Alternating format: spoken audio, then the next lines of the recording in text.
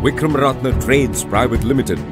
The trading part of the group imports household items for sale on wholesale and retail basis to the consumers and business markets. This subsidiary, established in 1989, offers an extensive range of products to the consumer market with their head office and the showroom located in Colombo.